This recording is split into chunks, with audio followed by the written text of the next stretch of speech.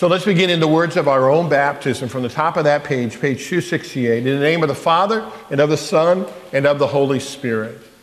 Amen. Amen.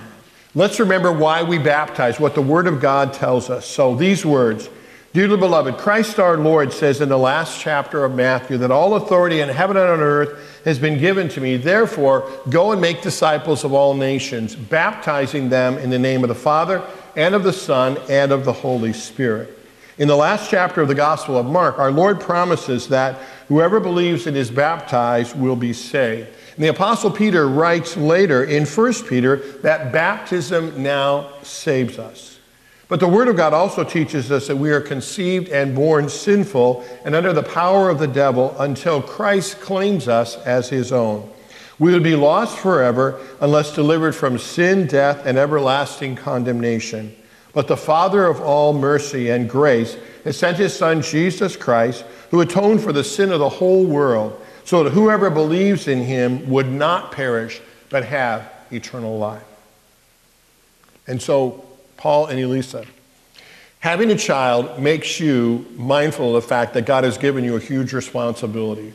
You've got a responsibility not only financially, you've got a responsibility emotionally, physically to care for a child, but you also know you have a spiritual responsibility too. And that's why you came and you said, We want Noah baptized. You know that by the fact that you chose his name. And so I want you to say out loud his name, saying that you accept that responsibility as God's given to you, and you're asking for God's help to be able to fulfill that responsibility. So the two of you say his name together. Noah, Mark, Stephen, Beautiful. Noah, Mark, Stephen, you've been marked with the cross of Jesus Christ on your forehead and on your heart to show that you are one redeemed by him. Amen. So let us pray. Almighty and eternal God, according to your strict judgment, you condemned the unbelieving world through the flood. Yet, according to your great mercy, you preserved believing Noah and his family, eight souls in all. You drowned hard hearted Pharaoh and all his hosts in the Red Sea, yet led your people Israel through the water on dry ground, foreshadowing this washing of holy baptism. Through the baptism in the Jordan of your beloved Son, our Lord Jesus Christ, you sanctified and instituted all waters to be a blessed flood and a lavish washing away of sin. We pray that you would, on behalf of Noah, Mark, Stephen, that you would, according to your boundless mercy, bless him with true faith by the Holy Spirit, that through this saving water, all sin in him, which he has inherited from Adam, and which he will commit in his life, would be drowned and die and that he be kept safe and secure in the holy ark of the Christian church, being separated from the multitude of unbelievers and serving your name at all times with a fervent spirit and a joyful hope, so that with all believers in your promise, he may be declared worthy of eternal life through Jesus Christ our Lord. Amen. Now for the two of you, for, for Casey and for Sandy. And accepting the responsibility of what it means to be a sponsor See, parents realize that they need to have around their children good role models around them all the time. So traditionally, the church has set up this practice of being godparents or being sponsors. So this is what we're asking you to do. Look at those next words. From ancient times, the church has observed the custom of appointing sponsors for baptismal, or baptismal candidates. In the Lutheran Church, sponsors are to confess the faith expressed in the Apostles' Creed and taught in a small catechism. They are, like you are today, whenever possible, to witness the baptism of those they sponsor. You're also asked to pray for them, support them in their ongoing instruction and nurture in the Christian faith, and encourage them towards faithful reception of the Lord's Supper. You are at all times to be examples to them of the holy life of faith in Christ and love for their neighbor. So, Sandy and Casey, are you, it is, is it your intention to serve Noah, Mark, Stephen as a sponsor of the Christian faith? If so, would the two of you say together, yes, with the help of God? Yes, with the help of God. Now, may God enable you both to do this faithful work and, and help you to do something you can't do by yourselves. Amen. Let's turn the page. Noah cannot speak for himself, but today we're going to speak for him. His parents are going to speak for him. His sponsors are going to speak for him.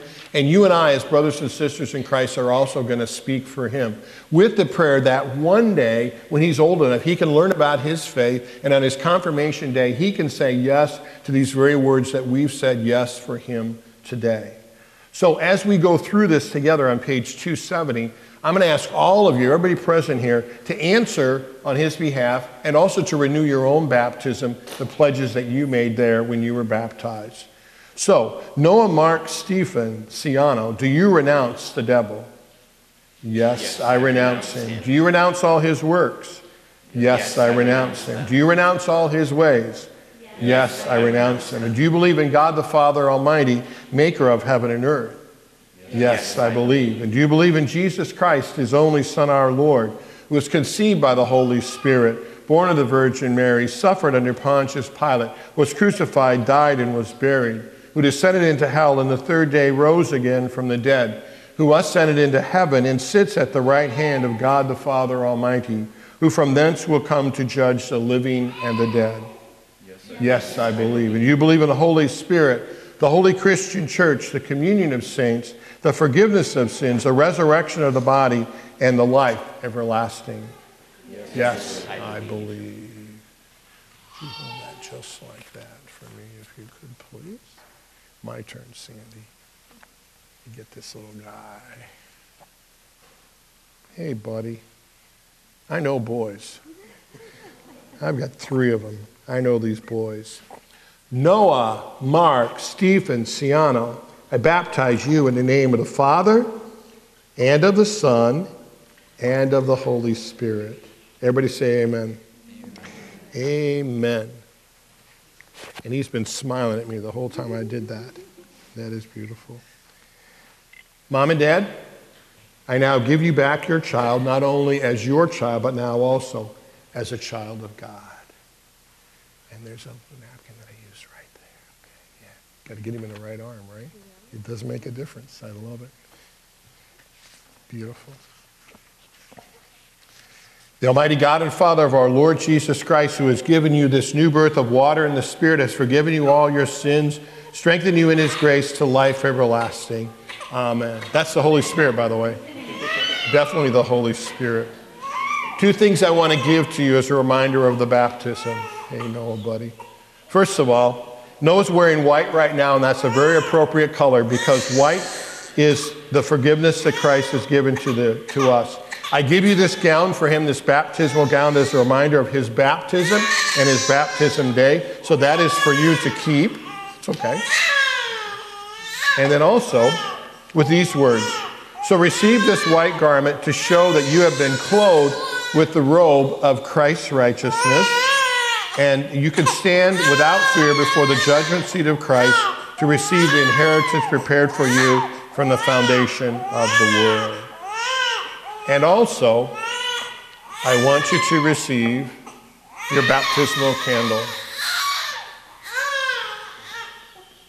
So we light Noah's baptismal candle off the Christ candle, which we light on Easter morning to show us that Jesus Christ is very much alive, that he is the light of the world. Paul, I'm going to give that to you. Like you are multitasking here, aren't you? With these words.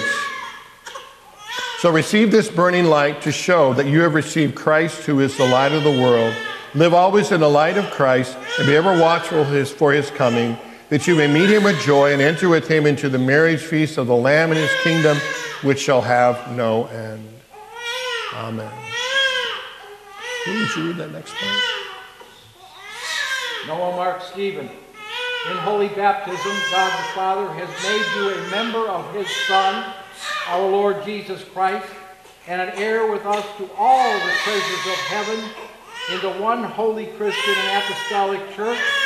We receive you in the name, in Jesus' name, as our brother in Christ, that together we might hear his word, receive his gift, and proclaim the praises of him who called us out of darkness into his marvelous light. Let's welcome him together. Amen. Amen. We welcome, welcome you in the name, of, the of the Lord. And we bow our heads to pray. Almighty and most merciful God and Father, we thank and praise you that you graciously preserve and enlarge your family and have granted to Noah Mark Stephen Siano the new birth of holy baptism and made him a member of your Son, our Lord Jesus Christ, and an heir of your heavenly kingdom. We humbly implore you that as he has now become your child, you would keep him in his baptismal grace, that according to your good pleasure he may faithfully grow to lead a godly life, to the praise and honor of your holy name, and finally with all your saints obtain the promised inheritance in heaven through Jesus Christ our Lord. Amen. And God's peace be with you all. You can blow that out, Paul. And when that cools off, you can put that right in there. Okay, you guys can go back and be seated.